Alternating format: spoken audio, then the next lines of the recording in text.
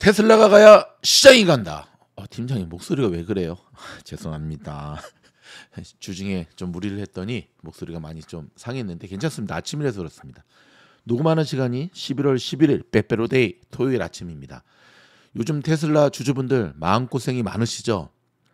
미주놀 채널에서도 테슬라도 안 올라오고 근데 이 책 읽어주는 미주놀 진짜 구독하셨으면 변함없이 들으시잖아. 걱정하지 않으셔도 됩니다, 여러분. 테슬라는 계획대로 가고 있습니다. 계획대로. 사실 요즘 테슬라 분들, 테슬라 주주분들 마음고생이 많으시죠. 내리면 더 걱정, 올라도 어저께 같이 올라도 걱정, 지수보다도 더 못 가고 마선은 사상 최고 신고가를 찍었는데 테슬라는 비리비리하고 자 그래서 어, 여러분들에게 제가 두 가지 말씀을 드리겠습니다. 여러분 주식 투자를 너무 어, 단, 단기적으로 하지 마세요. 조금 더 길게 보고 하세요. 여러분이 생각하는 것보다 더 길게 보고 하세요, 여러분. 더 길게 아셨죠? 테슬라 변동성이 워낙 심한 종목이라서 단기적으로 매매를 하게 되면 수익 내기가 정말 어려워요. 워낙 변동성이 커서. 근데 조금만 눈을 돌려서 길게 100불 깨질랑 말랑 할 때 과감히 long 들어가고 300불 뚫을랑 말랑하고 막 언론에서 설레발칠 때 과감하게 익절 숏 들어가고 얼마나 쉬워요. 그쵸? 지나가 보니까 쉽죠. 아, 말고 있습니다. 쉽지 않다는 걸. 자, 테슬라 주주분들 걱정하지 않으셔도 됩니다. Cybertruck이 출시가 임박하고 있죠. 이제 딱 11일이니까 19일 남았습니다. 근데 저는 한편으로 뭐 사이버 트럭 때문에 걱정하지 말라는 얘기가 아니라 예전에 제가 영상에서 한번 언급을 했는데요. 저희 스태프들하고 테슬라의 미래에 대해서 진지하게 한번 토론을 한 적이 있습니다. 근데 그때 어느 한 스텝이 놀라운 발언을 했습니다. 그러니까 한, 한 이슈를 이야기할 때는 항상 최악과 최고를 이야기하잖아요. 그죠? 볼링의 오른쪽 왼쪽처럼. 그러니까 테슬라가 어디까지 갈 수 있을 것인가. 밑도 끝도 없죠 정말. 뭐 거의 어, 아크 돈나무보다 더 많이. 그럼 최악은 어디까지 갈 것인가? 뭐 언론에서는 뭐 최저가 65불 어쩌저쩌 저희는 더 밑으로 내렸어요. 테슬라라고 상장 폐지 안 될 법이 있나? 테슬라라고 망하지 말라는 법이 있나? 근데 그때 한 스텝이 이런 의견을 냈습니다. 테슬라는 안 망합니다. 왜냐하면 망하기에는 일론 머스크가 너무 똑똑합니다. 만약에 일론 머스크가 스티브 잡스처럼 단명한다고는 모를까. 근데 상당히 건강한 체질이죠. 테슬라가 망하기에는 일론 머스크가 너무 천재적입니다. 그 얘기를 듣고 곰곰이 생각을 해봤어요. 돌아오는 길에. 여러분, 일론이 굉장히 자존심이 센 거 아시죠? 하지만 중국에서 판매하기 위해서 지분이 다, 를 정도로 시진핑한테 아부를 하고 만나주지도 않는 시진핑한테. 그렇죠? 때로는 배짱도 있고 물론 똘끼도 있죠.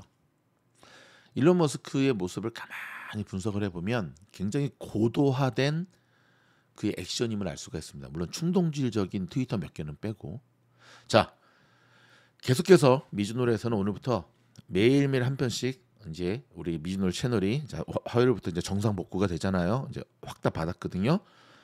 이, 이 영상을 일단은 책 읽어주는 미주놀 올린 다음에 그대로 옮겨가서 미주놀 채널에도 올리도록 하겠습니다. 자, 첫 번째는 19일 앞으로 다가온 사이버 트럭입니다. 여러분 대박입니다. 뭐가 대박이냐면 아, 저는 오늘 이 기사 보면서 깜짝 놀랐어요. 아이고 이게 대박이에요. 보이십니까? 우와, 그럼 이게 뭐예요? 방탄. 방탄. 여러분 기억하십니까? Cybertruck을 처음 공개했던 몇 년 전에 방탄 유리 자랑하다가 야구공 쳤다가 와장창해서 온갖 수... 지금 생각하면 재밌게 한 것 같아요. 네. 지금 미국에서는 drive-by shooting이라 그러거든요. 가끔 뉴스 통해 들으시죠? 프리웨이에서 고속도로에서 총알 날라오고 이거 심각합니다, 여러분. 일반 미국인들이 느끼는 거는 상당히 심각해요. 저도 사실은 저도 사실은 뭐 약간 트위터 트위터가 아니라 머스크 처럼 음, 제가 무너지면 네, 미들 채널 누가 운영하겠고 제가 무너지면 저희 가정이 어떻게 되겠고 제가 무너지면 A반 참편 어떻게 운영이 되겠습니까? 그렇죠? 그래서 저도 제 몸을 아주 극도로 잘 아끼는 사람인데 미국에서 이런 총기 사건들이 많이 일어나기 나면서부터 제가 안 한 것 두 가지가 있는데 일단 사람들이 붐비는 쇼핑몰 안 가고요. 가끔 갔었거든요. 이제 음? 사이코 South Coast South Coast Plaza라든지 뭐 명품 쪽도 좀 가보고 필요한 것은 좀 사고 안 갑니다. 안 갑니다. 예. 두 번째는 어, freeway 운전을 잘 안 하게 되더라고요. 비근한 예로 예. 새로운 골프장에서 늘 라운딩을 일주일에 한 번 하는 주말 골프는 하기, 하는 걸 좋아하는데 어, 저는 이 사건 이후로 그냥 이 얼바인 가까운 이 스트로베리 팜 멤버십 끊고 여기 갑니다. 멀리 멀리 안 갑니다. 네. 이게 미국 사람들이 현재 느끼는 두려움과 공포입니다, 여러분. LA 한인타운도 지금 범죄율이 극도로 발전하고 있죠. 뭐 집에까지 따라와가지고 자 45구경 탄환으로 기관총이죠. 빠바바바방 쐈는데 뚫리지가 않았습니다. 우와 이건 대단한 겁니다, 여러분. 톰슨 기관단총으로 방탄의 성능을 입증했습니다. 그리고 이 테스트 결과 총알이 내부를 관통하지 않은 것으로 확인되었습니다. 그 영화에서나 나올 법한 일이에요. 자, 사람들은 사이버 트럭에 대해서 야 강판이 저러니까 해비치면 눈부시고 뭐 좀뭐 뭐 약간 뭐 좀뭐 뭐 약간 그 한 40년 전에 운전하다 보면은 막 그 달달달달 걸리는 그 도요다 그 똥차 몰고 다니는 막 무슨 야 가드너 차 같다 막 하고 혹평도 하지만 디자인보다 중요한 것이 안정성이거든요. 저도 그 생각이 많이 바뀌었어요. 미국 살면서 처음 미국 왔을 때는 돈이 없었기 때문에 10년 된 캠리 장고정이 없다 그래서 샀지만 예, 고장이 났죠. 일주일 만에 차가 멈췄으니까. 그러면 제 생각이 어떻게 바뀌었냐면 미국에서의 차는 생명이다. 돈이 있어서 불을 과시하는 뭐 졸부들도 있지만 저는 그런 스타일은 아니고요. 장고장은 중요한 게 아니다. 사고가 났을 때 나를 지켜주는 이런 생각을 이 전환되게 된 것 중에 하나가 뭐냐면 5번 프리웨이를 운전을 하다가 제가 지금까지 살아오면서 미국에서 급정거하면서 차가 빙빙 돌거나 막 이제 깡통창처럼 깡통차처럼 빙빙빙 돌거나 엎어지거나 자빠지는 도요타 캠리, 어, 도요타 뭐 혼다 시빅 수많은 일본 차들 일본 차들이 가볍거든요. 그러니까 연비가 좋은 거예요. 뭐 현대차도 있습니다. 네, 소나타 엎어지는 것도 봤고 그런 모습을 보면서 저도 죽을 고비 넘겼어요. 돈이 없을 때 그 닛산을 벌사 탔다가 거의 죽다 살아났죠. 생각이 바뀌게 됩니다. 네, 돈 있으면 유로피안 차 타고 돈이 조금 없더라도 미국 차 타야겠다. 장고장은 문제가 아니다. 튼튼한 게 문제다. 튼튼한 게 중요하다. 그래서 제 아이들 다 튼튼한 유로피안 차들로 깔아줬지 않습니까? 뭐 중고차 사주긴 했지만 처음부터 너무 새 차 사주면 안 돼요. 그거는 미친 부모 짓이에요. 스포일 돼서 안 됩니다. 여러분 어떻습니까?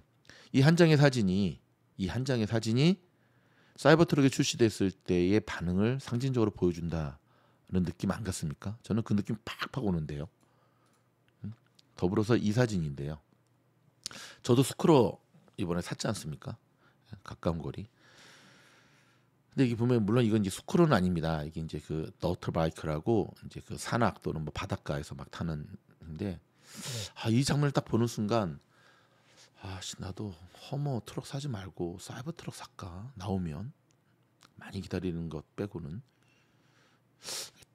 이 사이버 트럭을 또 캠핑카로 개조하면 진짜 멋있거든요. 이 모든 것들이 지금 미국 내에 그 고객들의 니즈가 무엇인지를 파악하면서 나가고 있다는 것. 여러분, 자 좋은 소식들. 저는 요즘 그런 생각을 합니다. 일론 머스크는 어떠한 반격의 카드를 갖고 있을까? 바이든 대통령이 UAW 지지하면서 테슬라 한 방 때리고 바이든은 과연 어떠한 반전의 카드를 만작거리고 있을까? 여러분 싸움꾼입니다. 승부사고 저커버그가 안 다쳤으면 한 판 제대로 붙었겠죠. 일론 머스크 얘기하는 겁니다. 이대로 당하지 않습니다. 어떤 카드로 분위기를 뒤집을까를 일론 머스크는 지금 계속 생각을 하고 있는 것 같은데요. 지금 일론 머스크의 전기를 다른 영화도 제작된다라고 하는 소식이 나오는데 이건 다음 영상에서 제가 좀 깊게 다뤄드리도록 하겠습니다. 너무 걱정하지 마시고 우리 변화하는 마음으로 좀 길게 호흡하면서 나아가도록 합시다. 그럼에도 불구하고 리스크 관리는 필수입니다. 고맙습니다.